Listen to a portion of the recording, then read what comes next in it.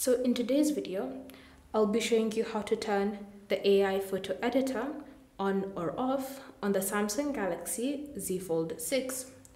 So the first step is to open settings and in settings, you want to scroll and select Galaxy AI. Under Galaxy AI, look for Photo Assist and tap on it. Then from here, you should see a toggle at the top of your screen.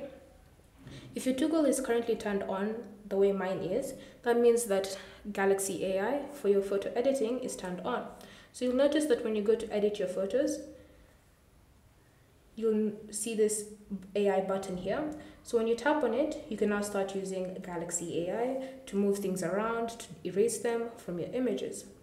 But if you turn it off like that, then when you go to tap on the button for the AI tool, you'll be prompted to turn it on before you can actually use Galaxy AI for your photos. So it's up to you to decide if you want to leave it on or you want to turn it off and customize your own way. Thank you for watching. If you have any questions or comments, leave them down below and we'll get back to you.